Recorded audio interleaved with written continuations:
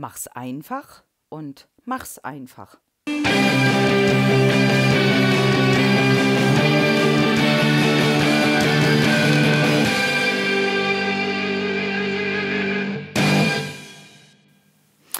Herzlich willkommen zum neuen Podcast aus der Reihe Verkaufsfrequenz. Hier bekommst du Infos, Tipps, Tricks und Ideen rund um die Themen Verkaufen, Empathie und Mindset, damit du deine Verkaufsfrequenz optimieren kannst. Mein Name ist Nadine Krachten, die Verkaufstrainerin. Und heute möchte ich mich mal mit den Themen Mach's einfach oder Mach's einfach beschäftigen. Und zwar in dem Kontext, es gibt ganz einfache Dinge, die du in deinem Verkaufsgespräch umsetzen kannst. Und wenn du die nicht nur einfach machst, sondern einfach machst, hast du damit eine unwahrscheinlich hohe Wirkung bei deinem Kunden.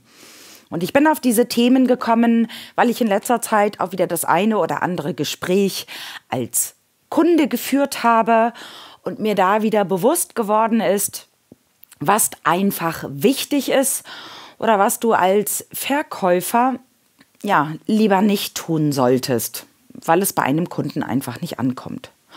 Und ich starte mal mit dem ersten Punkt, der so einfach und simpel ist, dass er ganz häufig vergessen wird, nämlich der Name deines Kunden. Sprich bitte deinen Kunden mit seinem Namen an. Weil der eigene Name ist das Schönste, was jeder hört. Und es ist einfach eine Wohltat und eine Wertschätzung, wenn der Gesprächsgegenüber meinen Namen ab und an immer zu passender Zeit in einem Gespräch fallen lässt. Also da macht auch, wie heißt es so schön, die Dosis das Gift.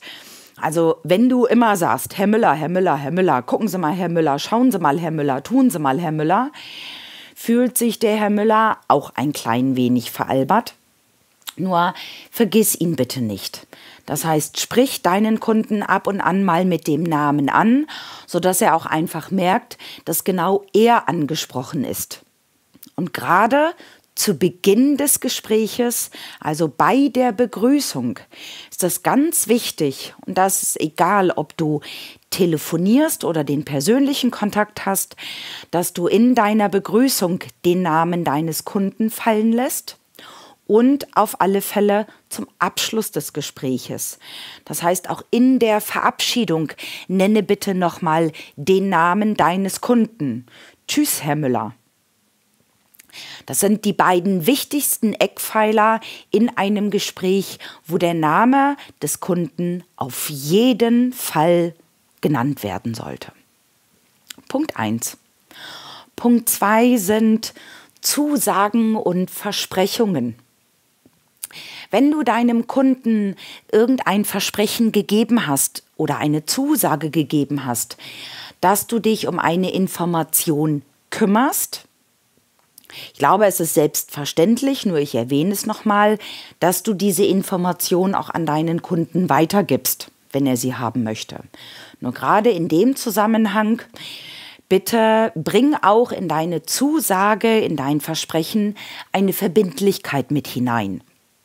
Ein Kunde möchte auch gerne wissen, bis wann er die Zusage bekommt, bis wann er das Versprechen erhält. Da hilft es nicht zu sagen, ja, ich melde mich demnächst irgendwann mal und sag Ihnen das. Ich hatte zum Beispiel gerade das hat mich sehr wütend gemacht. Ähm, ein Telefonat mit unserer Hausverwaltung und habe nach der Nebenkostenabrechnung gefragt. Und die Aussage von der Hausverwaltung war, ja, die bekommen Sie bis zum Jahresende. Jetzt ist, sind bis zum Jahresende noch zwei Monate Zeit und ich habe versucht, mit der Hausverwaltung zu besprechen, wann bekomme ich sie dann? Weil bis zum Jahresende könnte auch der 30.12. sein. Sie hat sich aber auf keine Verbindlichkeit eingelassen und dann gesagt, ja, sie bekommen es bis zum Jahresende, bis zum Jahresende. Das war mir als Kunde einfach viel zu schwammig. Deswegen lass dieses Gefühl bei deinem Kunden bitte nicht entstehen, dass er mit einer nicht greifbaren Zusage aus deinem Gespräch rausgeht und bring da Verbindlichkeit hinein. Sie bekommen die Informationen bis nächste Woche Freitag. Einfach mal als Beispiel. Und ja, es kann auch immer mal irgendwas dazwischen kommen, dass du diese Zusage nicht einhalten kannst. Dass du vielleicht die Informationen, die dein Kunde haben möchte, bis zu dem Zeitpunkt noch nicht bekommen hast. Dann mein ganz große Bitte, meld dich trotzdem bei deinem Kunden. Weil der Kunde hat die Zusage, dass er bis nächsten Freitag die Information bekommt. Und ich persönlich finde es viel schlimmer als Kunde, wenn ich dann überhaupt nichts von dem Verkäufer höre. Natürlich ist es nicht optimal, wenn du dann am Freitag anrufst oder eine E-Mail schreibst und sagst, tut mir leid, ich habe die Informationen noch nicht. Ich kann Ihnen die erst nächste oder übernächste Woche geben. Nur ich finde, diese Information ist immer noch besser, als den Kopf in den Sand zu stecken und zu sagen, naja, ich habe ja noch nichts, deswegen kann ich nicht anrufen oder kann mich nicht melden. Nee, ganz im Gegenteil. Eine terminliche Zusage, steh bitte dazu und zeig dem Kunden, dass du auch Verbindlichkeit ins Kundengespräch mit hineinbringst und einfach zu deinen Zusagen, zu deinen Versprechungen auch stehst. Das ist genauso mit Terminen oder sonstigen Aussagen, steh dazu. Weil es gibt auch in dem Zusammenhang nichts Schlimmeres, als einem Kunden ein Versprechen zu geben, was du nicht einhalten kannst. Also versprich dem Kunden lieber ein bisschen weniger und gib ihm im Nachgang ein bisschen mehr als andersrum.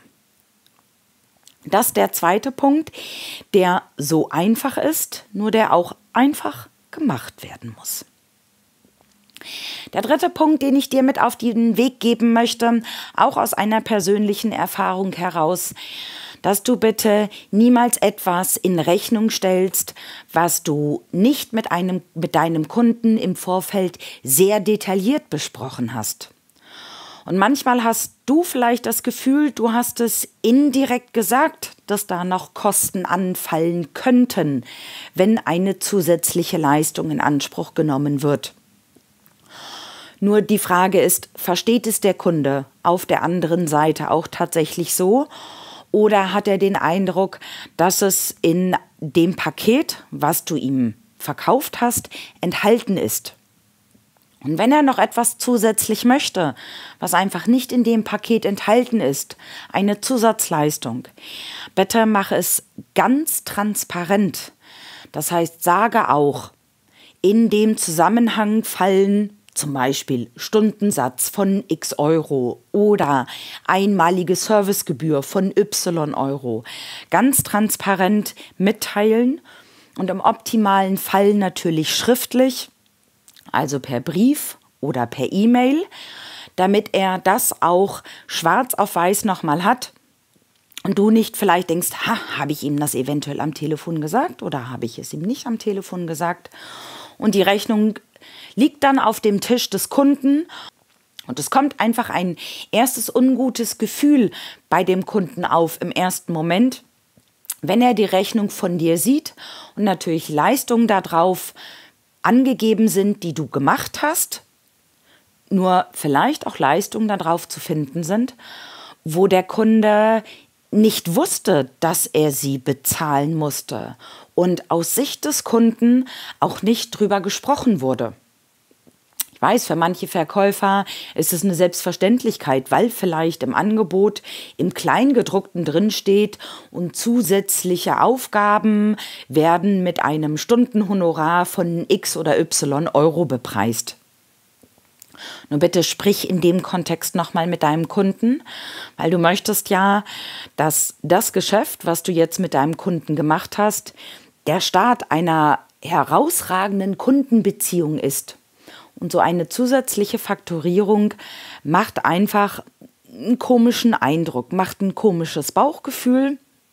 Und das wäre schade, wenn du eigentlich eine sehr gute Leistung gebracht hast und durch 30, 40, 100 Euro auf der Rechnung ein etwas komisches Gefühl bei dem Kunden ähm, erzeugst. Dieses Mal drei recht einfache Tipps von mir, die allerdings so wirkungsvoll sind und die, so erlebe ich es häufig, aufgrund der Einfachheit in einem Kundengespräch vergessen werden. Das heißt, denk an den Namen deines Kunden, Minimum beim Start und zum Ende des Gespräches. Halt Zusagen, Versprechungen und Termine ein.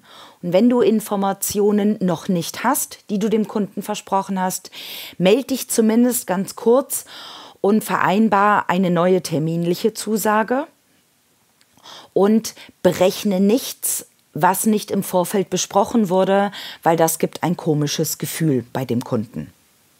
Also einfach machen und einfach machen.